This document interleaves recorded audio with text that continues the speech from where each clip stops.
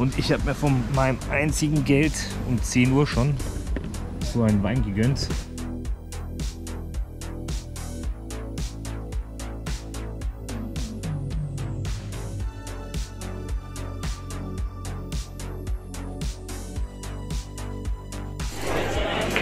No!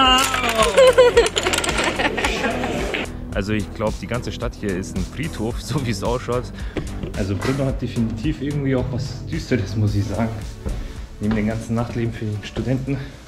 Ahoi aus Brunno. Willkommen in der bitteren Realität, wo man am 1. Oktober so eine dicke Jacke tragen muss. Auf jeden Fall, ich werde jetzt hier ein langes Wochenende verbringen und werde mir die Stadt ein bisschen anschauen. Ich bin ja Fan von so kleinen Städten wie zum Beispiel Braschow oder Wroclaw, Poznan. Von dem her habe ich mir mal Brno ausgesucht. Ich werde hier mal den ganzen Tag bis da rumlaufen, weil die Innenstadt kann man ja gut zu Fuß anschauen. Es sind hier viele Studenten, viele junge Leute, habe ich schon gesehen. Und hier werde ich einen ersten Stopp machen. Da gibt es so eine Kirche, die werde ich mir mal anschauen. Aber von hier sieht es schon mal aus, als wären da Renovierungsarbeiten. Ich hoffe, die ist nicht zu. Dann werden wir uns mal in der Stadt ein bisschen umschauen. Überall zu Fuß rumlaufen, was tschechisch zu essen holen. Der erste Stopp ist schon mal ein Volltreffer. Und zwar, die Kirche ist leider wegen Renovierung geschlossen. Schade. Kann man ein bisschen durchschauen. Es gibt irgendwo was, wo man noch runtergehen kann. Vielleicht kann man da reingehen. Das werden wir jetzt mal versuchen. Also vielleicht ist ja dieser Bruno Underground offen. Ich werde jetzt mal da runtergehen und schauen, ob das wenigstens offen hat. Weil es schaut auch so komisch aus, dass es irgendwie zu ist.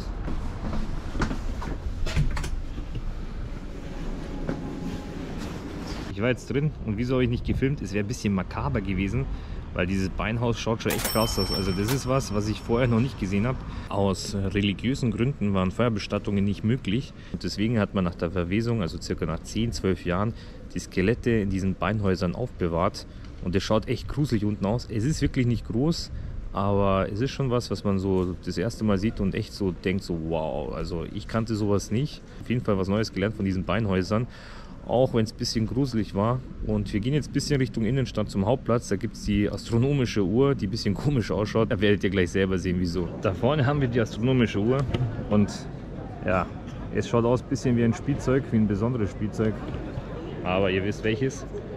Und wie funktioniert das? Die Leute sind alle dort und wissen nicht, wie es funktioniert, aber ich weiß es.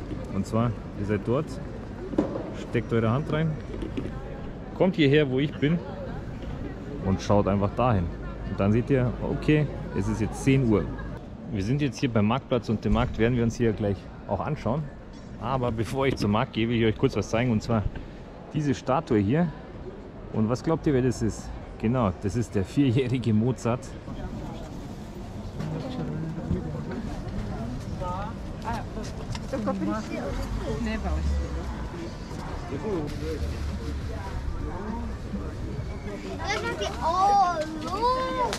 Der Markt war jetzt nicht besonders riesig, aber die Leute haben dort schon eingekauft. Also ich denke, es ist auf jeden Fall günstig und gut, weil nur Tschechen da hingegangen sind und es war nichts jetzt touristisches oder so. Und ich habe mir von meinem einzigen Geld um 10 Uhr schon so einen Wein gegönnt. Ich wollte eigentlich eine kleine Flasche holen und mitnehmen, aber ich hatte nicht genügend, weil ich habe noch kein Geld gewechselt. Ich habe alles mit Karte gezahlt. Da hat sie gesagt, für 35 Kronen kann sie mir so ein Glas geben und dann kann ich probieren. Naja, jetzt um 10 Uhr früh ist ein bisschen komisch, Wein zu trinken. Hm. Boah. Schmeckt aber krass. Also hat echt Geschmack. Cash only. Deswegen, ich muss jetzt irgendwo auch Geld langsam wechseln, weil man kann schon ziemlich viel mit der Karte zahlen, aber irgendwann kommen doch so kleine Dinge, die, wo du doch dann ein bisschen Bargeld brauchst. Und was ist der weitere Plan? Geld wechseln. Ich habe ja so eine kleine Vorliebe für Bunker bekommen, als ich in Albanien, Tirana war. Und hier gibt es auch so einen Bunker, den kann man sich anschauen. Also bei Bruno kann man echt noch sagen, dass es so ein Hidden Gem ist. Es sind echt nicht viele Touristen da. Die Leute, die halt eine andere Sprache sprechen, sind Austauschstudenten. Also von dem her wundert mich eigentlich, dass Bruno nicht so viele Touristen hat. Es ist nicht weit von Prag, es ist nicht weit von Wien. Auch von Süddeutschland ist es eigentlich nicht so weit. Die Stadt hat mega Potenzial und ich empfehle jeden hierher zu kommen, der irgendwie was sehen will, was er vorher noch nicht so gesehen hat, wo nicht so viele Touristen sind. Man kann echt viel Spaß haben. Und da ist ja schon der 10Z Bunker. Da werden wir jetzt mal reingehen und mal sehen, wie interessant das ausschaut. Hier oben schon mal so ein Trabi.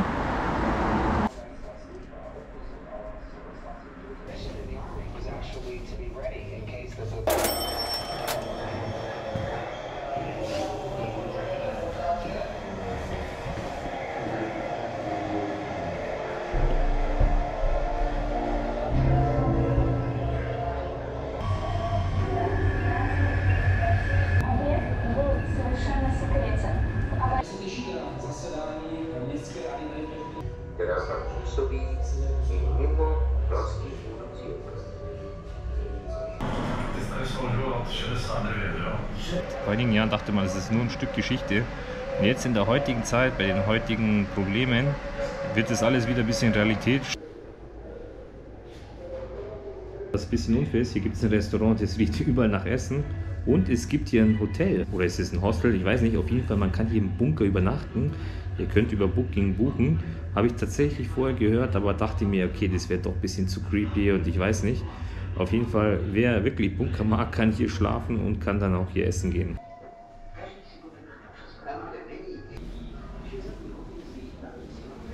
Der Luftschutzbunker war schon interessant, aber es gibt halt wenig zur Geschichte von Tschechien dazu. Der Luftschutzbunker wurde übrigens von den Nazis gebaut, also nicht von den Tschechen, um sich vor den Amerikanern und vor den Sowjets zu schützen. Und später nach dem Zweiten Weltkrieg haben dann die Tschechen es benutzt, falls es halt dann einen atomaren Angriff von den Westmächten gibt. Auf jeden Fall im Luftschutzbunker hat so nach Essen gerochen, dass ich jetzt so hungrig bin und ich werde jetzt ein typisch tschechisches Restaurant suchen und mir da jetzt was zu essen holen. Was seit dem Brunner schon mega nice ist, dass man überall zu Fuß gehen kann. Also überall bist du in vier, fünf Minuten zu Fuß da. Ich bin jetzt gerade irgendwie in so eine Gasse reingegangen und schaut mal irgendwie, wo ich rausgekommen bin. Also schaut schon krass aus. Die Stadt gefällt mir immer mehr und immer mehr. Also echt so ein Favorit bei den kleinen Städten in Europa von mir. Ich habe jetzt Gulasch gegessen und Bier getrunken und fühle mich jetzt schon ein bisschen angeschlagen, weil vorher der Wein. Jetzt ist Bier. Das Gulasch war okay, nicht das Beste, was ich gegessen habe. Das Bier ist halt in Tschechien wirklich komisch, weil die Hälfte Schaum ist und die Hälfte Bier. Also so schaut es auf jeden Fall aus. Als nächstes gehen wir hier in die Kapuzinergruft rein. Das ist so ähnlich wie das Beinhaus, wo wir vorher drin waren. Also auch wohl Skelette und so weiter, aber anscheinend von den Mönchen hier aufbewahrt.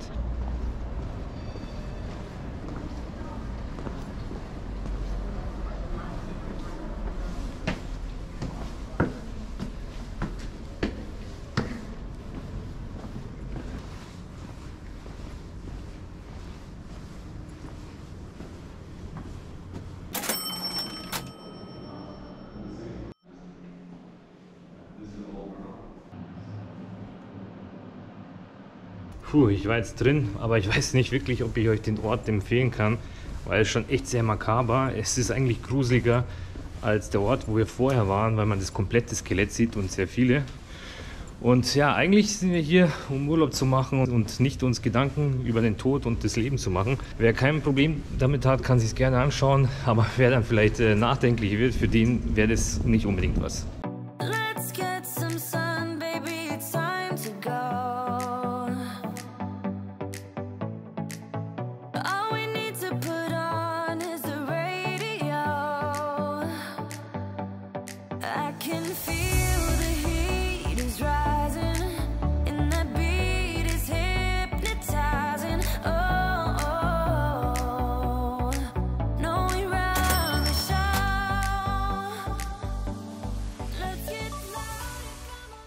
So sieht eigentlich ein Hostel aus, was du buchst, damit du Leute kennenlernst. Aber es sind halt einfach keine Leute im Zimmer, weil ich bin gerade reingekommen und alle Betten sind sauber gemacht und es ist einfach keiner hier im Zimmer. Und sie hat eiskalt gesagt, ich darf nur das Bett hier oben bekommen.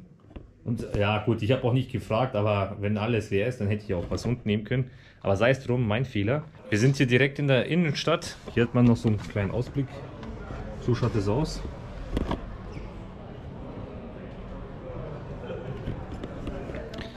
Naja, schade, dass hier keiner ist. Vielleicht kommt ja noch jemand und ich werde jetzt mal essen gehen und mal sehen, was der Abend so bringt. Vielleicht noch ein bisschen Bier trinken und vielleicht lande ich ja irgendwo. Das Hostel ist auf jeden Fall okay auf den ersten Blick. Hier kann man so ein bisschen seine Sachen einsperren, wenn man ein Vorhängeschloss dabei hat. Das Bett ist auch okay mit so einem Vorhang. Kann man sich ein bisschen verstecken. Ich glaube, es ist groß genug. Kleiderschrank hier mit Armani Jeans, Hugo Boss. Nicht von mir, sondern vom Hostel. Soweit, Hostel ist echt okay. Ich bin zufrieden. Nur schade, dass weniger Leute da sind. Jetzt stürzen wir uns mal in die Innenstadt ins Nachtleben. Ahoi hier vom Tag 2 in Brno. Wir waren gestern ein bisschen draußen. Es sind doch ein paar Leute ins Hostel gekommen. Wir sind zuerst in die Bar, die nicht existiert, gegangen. Also die schaut echt krass aus und ich muss sagen, die ist keine Tourist Trap. Also die Preise sind zwar ein bisschen heftig für die Verhältnisse hier, aber um ein Foto zu machen, um die einfach gesehen zu haben, lohnt es sich auf jeden Fall. Das Personal ist mega freundlich und man kriegt auch Wasser umsonst im Cocktail dazu. Kommt aber früh, also wir waren dort circa so um halb neun und es war schon richtig voll und wir haben keinen Tisch bekommen, sondern mussten so zur Seite und dann konnten wir an die Bar. Wenn ihr da hingeht, entweder reservieren oder kommt um sieben. Danach wollen wir was essen, natürlich was Deftiges, damit man weiter schön trinken kann. Und wir waren danach in einer Bar, die früher ein Kino war, also die schaut mega geil aus. Und obwohl ich kein Fan von Brettspielen bin, kann man dort so Brettspiele ausleihen und kann man spielen.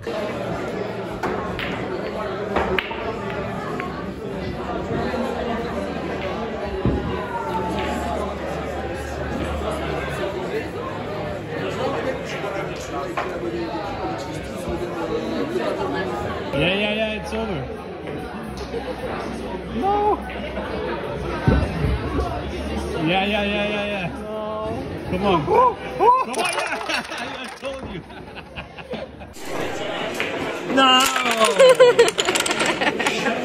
Es hat ziemlich Spaß gemacht, muss ich sagen. Man kann auch Billard dort spielen. Also die Bar ist echt geil. Richtig unscheinbar. Also von außen sieht man die so gar nicht und sieht ein bisschen komisch aus, bisschen wie so ein Casino oder so.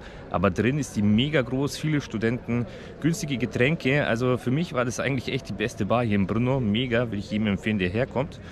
Und was werden wir heute machen? Wir sind heute am Markt hier und ja, es ist leer, aber was mache ich hier? Hier drunter gibt es anscheinend ein Labyrinth. Da kann man ein bisschen rumlaufen, sich verirren. Also ich glaube, die ganze Stadt hier ist ein Friedhof, so wie es ausschaut. Und danach werden wir hier hoch auf diesen Turm gehen. Da hat man eine ganz gute Aussicht auf die Stadt. Und dann habe ich noch zwei Sachen vor. Vielleicht nicht ganz typisch hier für die Stadt, bisschen außerhalb der Stadt, aber die will ich mir auch noch unbedingt anschauen. Und dann, wenn ich alles noch geschafft habe, vielleicht noch zum Schloss. Und ja, das sollte eigentlich ein ganz cooler Tag werden. Und wir gehen jetzt erstmal ins Labyrinth und hoffen, wir kommen wieder raus. Okay, kleine Planänderung. Wir gehen doch zuerst zum Turm. Im Labyrinth gibt es nur so Guided-Tours und die nächste fängt erst um halb eins an und jetzt ist es so 10 vor 12. Von dem her werden wir erstmal da hochgehen und danach schauen wir uns das Labyrinth an. Am besten ihr geht da vorher hin, bucht, macht eine Uhrzeit aus und dann geht ihr erst ins Labyrinth.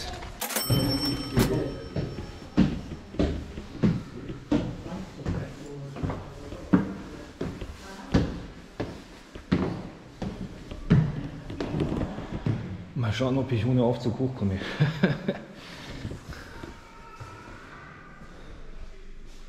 ...61 Stockwerke oder 61 Stufen. Also viel Platz hast du hier nicht auf dem Turm. So eng ist es. Aber eine krasse Aussicht, also echt schöne Stadt.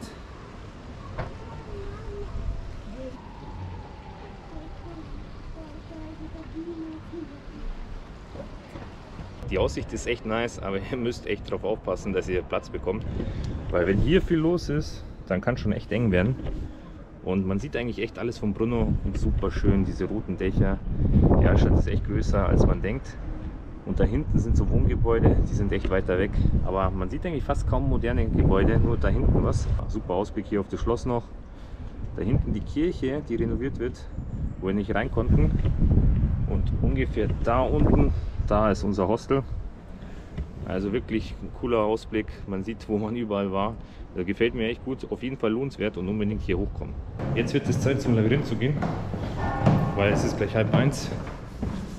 Und die Tour dauert ziemlich lange, hat sie gesagt. 45 Minuten. Da bin ich echt gespannt. 45 Minuten ist ja nicht wenig. Was man in den 45 Minuten alles so sieht. Wir waren jetzt hier gerade im Labyrinth unter dem Markt. Und im Prinzip haben früher die ganzen Geschäftsleute, die ganzen Händler hier vom Markt ihre Sachen unten gelagert, also Wein, die ganzen anderen Sachen, die Lebensmittel, die die verkauft haben, damit das kühl gehalten wird.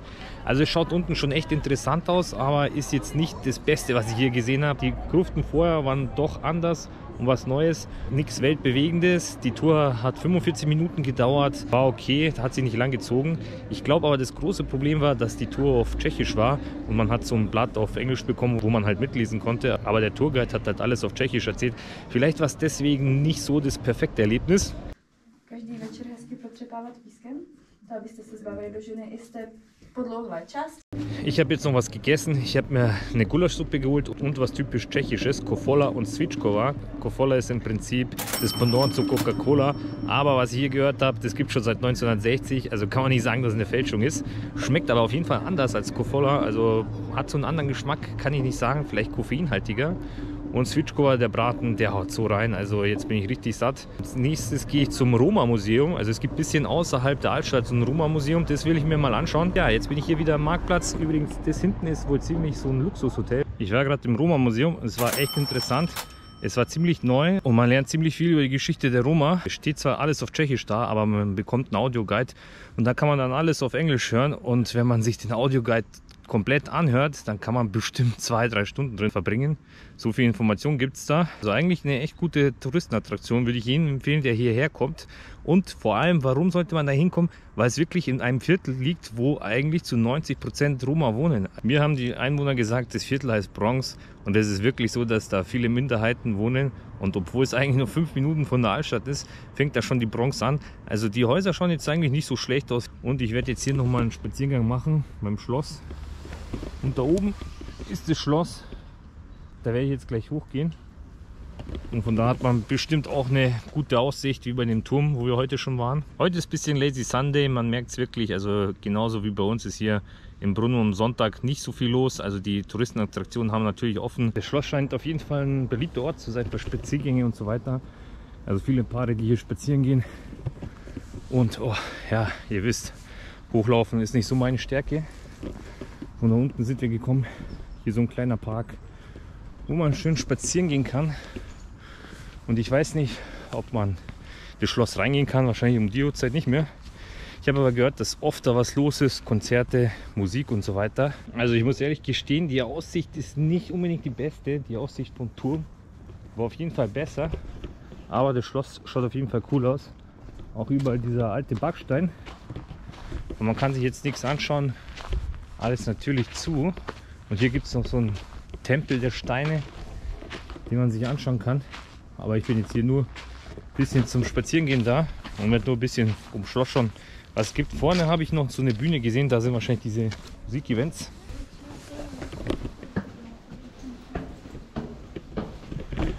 Mal sehen, wo uns der Weg hier hinführt.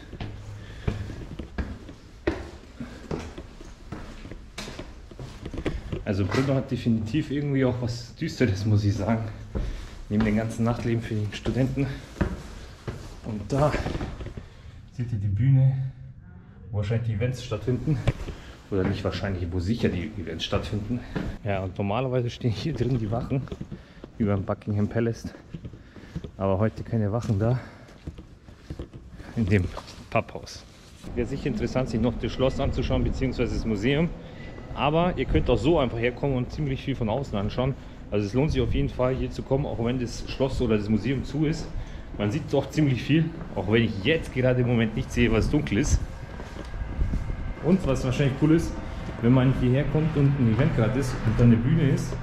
Also das würde ich empfehlen, vorher auf jeden Fall sich mal anzuschauen, ob irgendwas stattfindet und dann zu so einem Event zu kommen. Wie sich das Blatt ändern kann. Gestern war ich mit ein paar Leuten aus dem Hostel unterwegs, die waren echt cool drauf. Aber heute sind wieder neue da. Die Leute sind leider weg, die ziehen weiter. Und die sind irgendwie ein bisschen komisch. Also was heißt komisch? Die sind schüchtern. Ich habe die gefragt, ob die ein bisschen rausgehen wollen. Nein, die wollen sich ausruhen, was ja völlig okay ist. Aber die sind den ganzen Tag irgendwie im Hostel. Jedes Mal, als ich da war, lagen die in der gleichen Position im Bett und haben auf ihr Handy geschaut. Da frage ich mich dann schon, wieso kommt man hier nach Brno und verbringt den ganzen Tag im Bett? Ja, naja, manche wollen sich wirklich ausruhen oder so, aber dass gleich alle vier die gleiche Position haben und das gleiche machen und faulenzen, das ist dann echt ein krasser Zufall. Okay, jetzt kann ich die Leute ein bisschen verstehen, warum die nicht mitgekommen sind. Und zwar, es ist nichts mehr los. Also Sonntagabend ist eigentlich wie bei uns in Deutschland alles dazu. Nur ein paar Kneipen mit Essen haben noch auf. Und ich muss euch sagen, die Definition Kneipe oder Bar ist hier in Brünn zumindest ein bisschen anders. Das sind meistens eigentlich so Restaurants, wo man Bier trinkt und dann noch ein bisschen was zu essen nimmt. Nicht unbedingt so eine große Portion muss man nicht, aber es gibt so auch kleine Portionen, die man zum Essen mit dazu nimmt, wo besonders viel Knoblauch mit dabei ist. So richtig bar wie bei uns, wo halt die Leute stehen, Musik kommt und wo man sich dann an Dresen was zu trinken holt. So ist es nicht wirklich. Unter Bar verstehen die was anderes.